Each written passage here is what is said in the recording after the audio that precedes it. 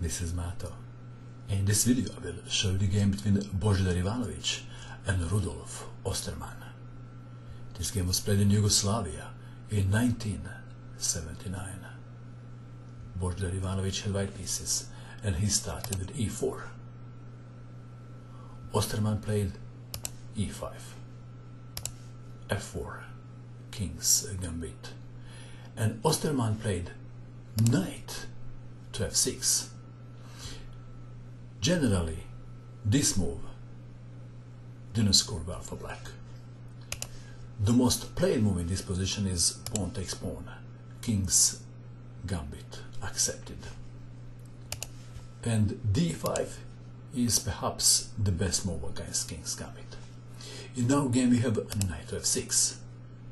Pawn takes pawn on e5, attacking the knight. Knight takes pawn on e4, and now knight to f3. If something else like d4, then queen to h4 check is extremely annoying.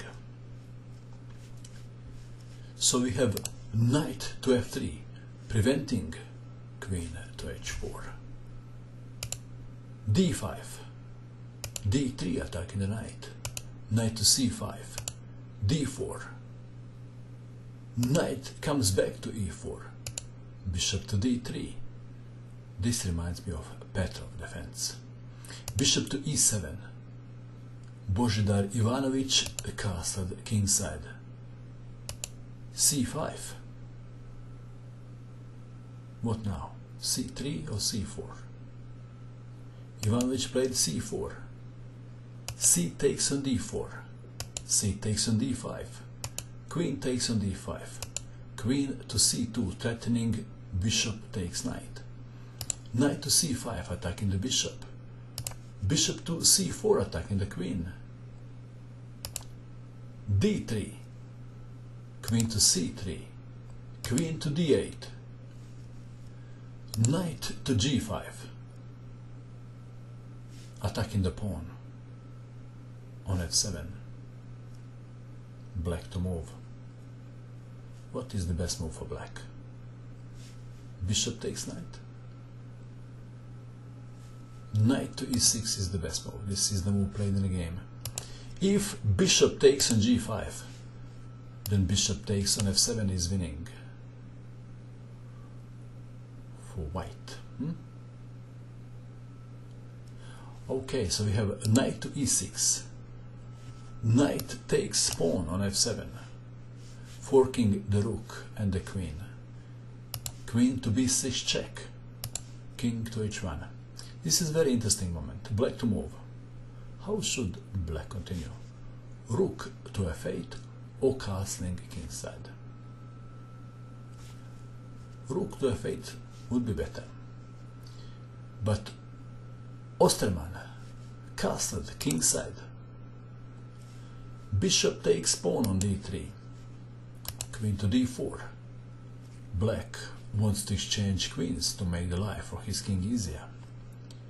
Queen to c2, threatening bishop takes on h7.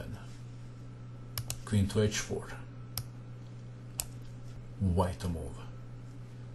This must be the most interesting moment of the game.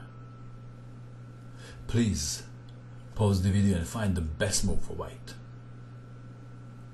What did you find? Did you pause? Please pause. White played a move and black resigned. Unbelievable. The move is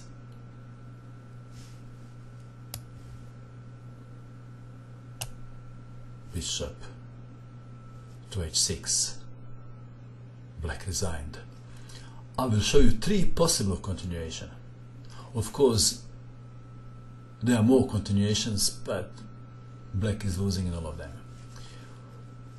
One defense goes like this. Rook takes on f7, then queen takes bishop check, knight to d8, bishop to c4, pinning the rook, pawn takes bishop, bishop takes rook, king to g7, knight to c3, knight takes on f7, queen takes pawn on b7, winning for white. What else? If pawn takes bishop, then bishop takes on h7 check and after king to g7 queen to g6 checkmate. and one more. If g6 is played then bishop takes on g6 pawn takes and then queen takes on g6 check and checkmate. Let's go back to this most interesting position of the game Did you see this brilliant move?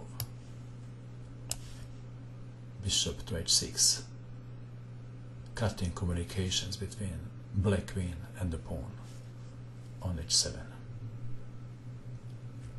And that is all. I hope that you enjoyed watching this video. I wish you good luck with your king hunt and bye for now.